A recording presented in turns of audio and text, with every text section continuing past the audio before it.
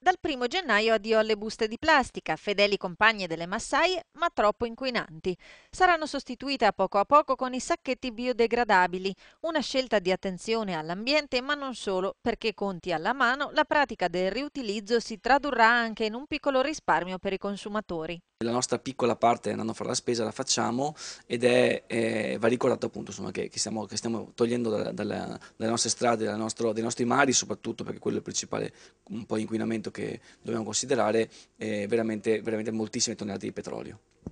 Ogni italiano consuma 300 shoppers all'anno che in media, stando ai dati di Legambiente, corrispondono a 4 kg di plastica a testa, cioè a 10 kg di CO2 emessa.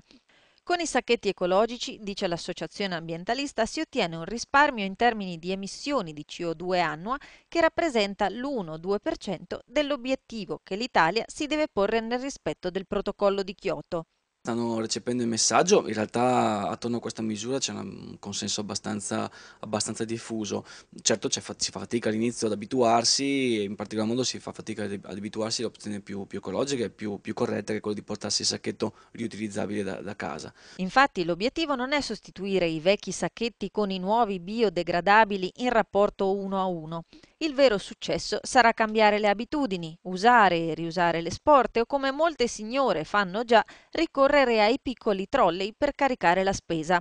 In ogni caso i vecchi sacchetti di plastica potranno ancora essere distribuiti, ma gratuitamente, fino ad aprile.